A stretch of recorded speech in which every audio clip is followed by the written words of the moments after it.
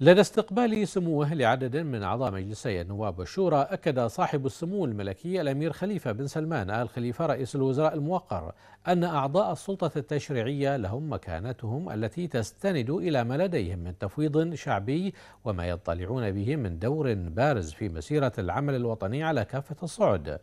ودعا سموه إلى الاستفادة من الأجواء الديمقراطية في المملكة وما تمنحه من بيئة خصبة لحرية الكلمة. يجب أن يتم استغلالها للنقاش في القضايا التي تعزز قيم البناء والتنمية. وتقوم وتقوم الطريق إليها وتعزز من ترابط أبناء شعب البحرين وتجمع كلمتهم لا أن تكون منطلقا لبث الفرقة والفتنة والتشكيك في جهود المؤسسات الوطنية. وأكد سموه على ضرورة جعل مواقع التواصل الاجتماعي وسيلة للتقارب بين أبناء الوطن الواحد ولا تجنح في أو تجنح إلى ما قد يثير الشقاق. وأن تكون منطلقاتنا جميعا هو العمل من أجل خير الوطن وتقدمه. وحث سموه على الوحدة والتلاقي حول المصلحة الوطنية والابتعاد عن المهاترات التي تضرب تماسك المجتمع وتثير نعرات التفرقة والتحزب. وكان صاحب السمو الملكي رئيس الوزراء قد استقبل بقصر الغضيبية صباح اليوم معالي السيد علي بن صالح الصالح رئيس مجلس الشورى وعددا من أعضاء مجلسي النواب والشورى بحضور عدد من كبار المسؤولين بالمملكة. وخلال اللقاء أكد صاحب السمو الملكي رئيس الوزراء أن العلاقة بين الحكومة ومجلس النواب قائمة على الشراكة الاستراتيجية ولا تحتاج إلى وسيط وما يخدم هذه العلاقة من وجهات نظر يتم طرحه في اللقاءات المباشرة أو القنوات الرسمية. فالحكومة والنواب شركاء ويستند التعاون بينهما على الصراحة والمكاشفة.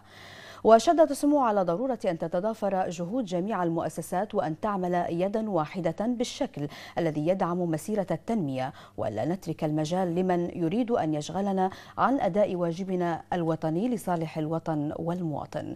وقال سموه إن توجهنا سيظل واحدا لاستكمال منظومة التنمية التي تشهدها المملكة بقيادة حضرة صاحب الجلالة الملك حمد بن عيسى الخليفة أهل البلاد المفدى في الله ورعاه.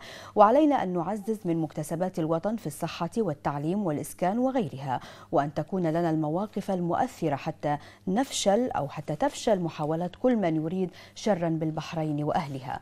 وخاطب سموه الحضور قائلا أنتم تمثلون الشعب الذي انتخبكم ووضع ثقته فيكم وأنتم شركاء في المسؤولية مع الحكومة. وواجبنا أن نعمل سويا ونستمر في الإنجاز لصالح الوطن وشعبه وأن لا نلتفت لأي شيء يوقف هذه المسيرة.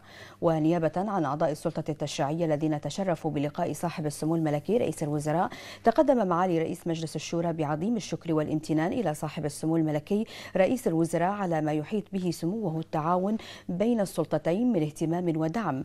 وأكد أن سمو رئيس الوزراء دائما ما تسبق أفعاله الكريمة وأقواله الحكيمة في لم الشمل وتوحيد الجهود لخدمة الوطن والمواطنين لافتا إلى أن حرص سموه على اللقاء مع أعضاء السلطة التشريعية في مجلس يجمعهم مع الوزراء والمسؤولين للدفع بالتعاون الثنائي بين السلطتين.